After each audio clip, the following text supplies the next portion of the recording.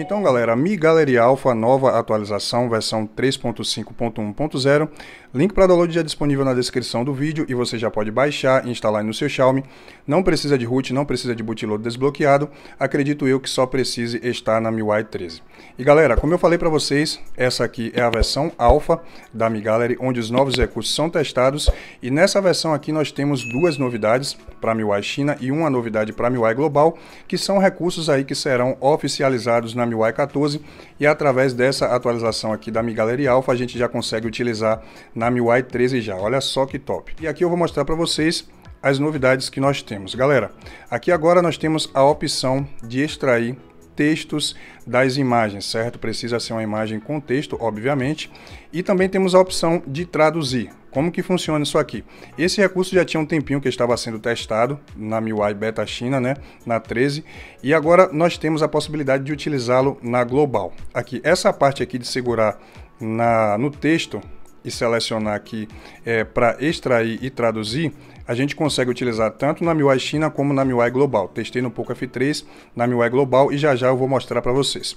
Aqui a gente tem a opção de extrair o texto e a opção de traduzir. No meu caso, eu vou colocar nessa opção aqui porque a MIUI China ela tem o seu próprio tradutor, certo? Se você estiver na Global, você vai clicar aqui em compartilhar, certo? E você vai clicar aqui, ó, para traduzir.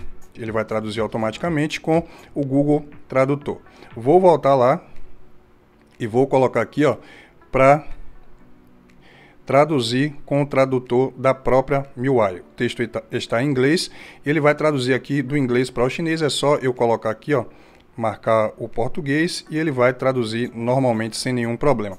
Aqui abaixo eu tenho a opção de copiar, certo? Mas aqui é só para quem está na MIUI chinesa, certo? Vamos voltar aqui. Na MIUI chinesa, esse botãozinho aqui vai aparecer e você clicando nele, ele vai auto fazer uma seleção aqui, ó, do que pode ser selecionado. Né? E aí você clicando aqui, ele já vai selecionar automaticamente, você não precisa segurar, né?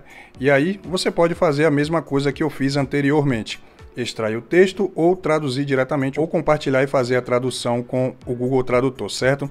A outra novidade que nós temos aqui, mas somente para a versão chinesa, não vai aparecer na MIUI Global, é a opção de você criar um PDF diretamente da galeria. Você abriu aqui a imagem, você já vem aqui, ó, clicou aqui, ele já vai dar a opção, ó, de criar um PDF. Aqui você pode cortar a imagem, você pode colocar preto e branco, você pode aprimorar. Essa parte aqui do remover moiré, eu não sei como é que funciona direito. Enfim, mas você pode criar o seu PDF aqui, ó, diretamente é, da imagem aberta aqui na galeria. Então, essas duas novidades aqui chegam para a versão chinesa, de auto selecionar clicando no botãozinho aqui de texto e a opção de criar um PDF. Para a versão global, eu vou fazer a atualização aqui no Poco F3 e vou mostrar para vocês. Deixa eu só aumentar um pouquinho a luminosidade aqui. E vamos lá, vamos entrar aqui na nossa galeria. Vou atualizar aqui, ó.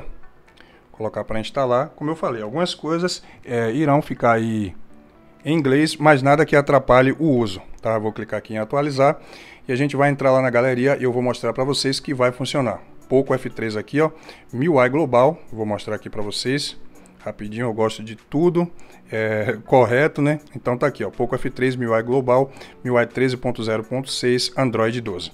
Bom, vamos entrar aqui na galeria, certo?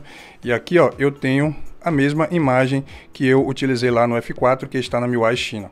Aqui, ó, é só segurar.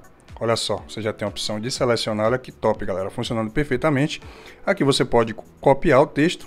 Você pode selecionar tudo, você pode extrair o texto. Olha só, ele vai te trazer aqui, ó, para essa página, onde você pode copiar, né? Você também pode salvar nas notas. Aqui você pode compartilhar e aqui você pode revisar, se por acaso você quiser é, acrescentar ou tirar alguma coisa que talvez o tradutor tenha traduzido errado. Então, top demais.